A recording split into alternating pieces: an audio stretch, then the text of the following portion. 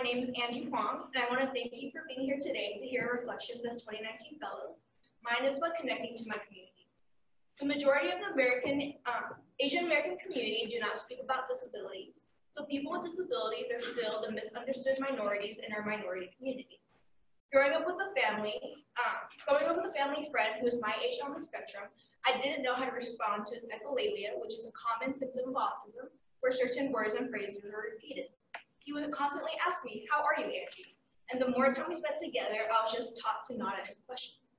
I had to grow up to realize that I had unknowingly been really disrespectful to my friend. Having a conversation with him shouldn't have been something I had to learn to do. I was oblivious because my community refused to talk about disability. But learning from my childish ways, I've grown to a very different person, and I'm still learning today how to be a better advocate for individuals with Originally, originally from La Habra in Southern California, the best way to describe home is that we are 15 minutes from Disneyland. The worst way the worst way to describe it is that for a really long time, I struggled to feel like I belonged in my own hometown. With a population that is 98% Hispanic, I was a minority in a minority community. So when I entered high school, I didn't know anybody. So I spent all my time in extracurricular clubs and working with students with disabilities. And being in these activities connected me to like-minded individuals. So I graduated with a community of friends and supporters that ended up feeling like a family to me. But let's fast forward to Brandeis. I have the opportunity to continue my education, and here I am, finishing up my last semester. To me, education is empowerment, so I jumped at the opportunity to be here. But that feeling of not belonging returned once again. At a small liberal arts college that prides itself on inclusion and belongingness, why did I feel like I was in the wrong place? I'm interested in bridging the education gap for students with disabilities, yet the courses at Brandeis that tackled this issue were inaccessible to me as an undergraduate. I lived to discuss TED Talks and leadership lessons, yet there was nowhere for me to engage in these conversations. Um, until I found Segal Fellowship by Faith. Last fall, in the midst of midterms, I received a random email from the Brandeis Latinx Students Organization, specifically from Edith, who is a 2018 Segal Fellow, about a life-changing opportunity to explore citizen leadership and strengthen my social capital. I had a lot of questions. What was a citizen leader? What was social capital? When and how did I sign up for the Brandeis Latinx Students Club? I didn't know the answers to these, but I did want to learn more about it. I had a gut feeling that this might be the community I'd searched for so long at Brandeis, but hey, no pressure. So summer 2019, after many, many hours of consulting with Susie and Kyle, I made an executive decision to return home because I wanted to apply what I learned in Massachusetts, the gold standard for education and disability services, to support providers in my community back home. I landed my dream internship at the Center for Autism and Neurodevelopmental Disorders, aka the Center.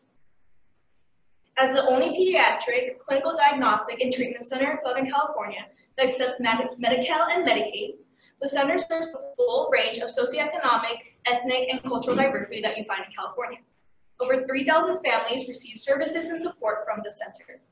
And as a teaching facility with the University of California, Irvine, Chapman University, and the Children's Hospital of Orange County, the center enabled me to work with a diverse team on many different projects. And to name a few, I helped the educational psychology team revamp their Families and Schools Together program. I consulted with medical providers like developmental behavioral pediatricians on patient behaviors during appointments. I consulted with the behavior intervention team to provide social skills therapy for boys with autism and anxiety.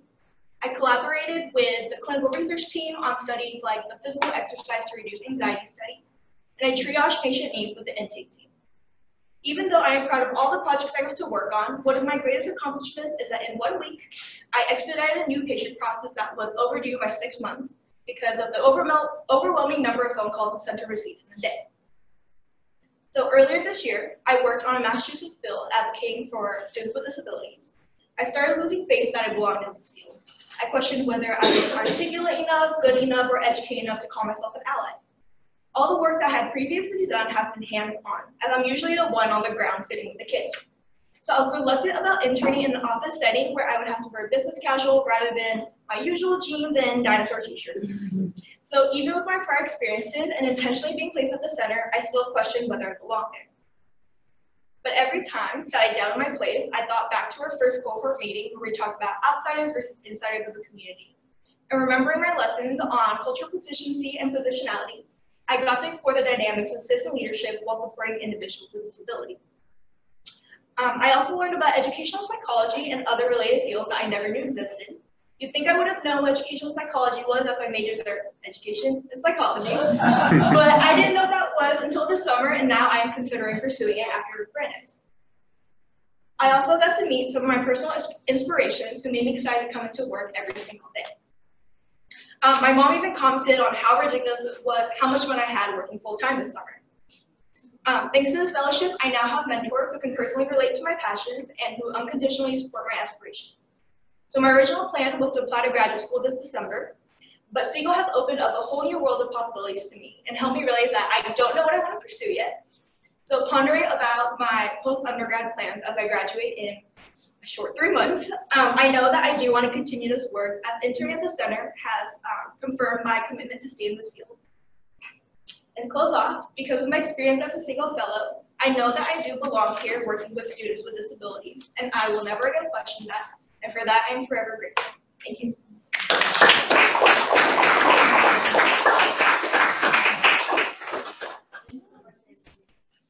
and now students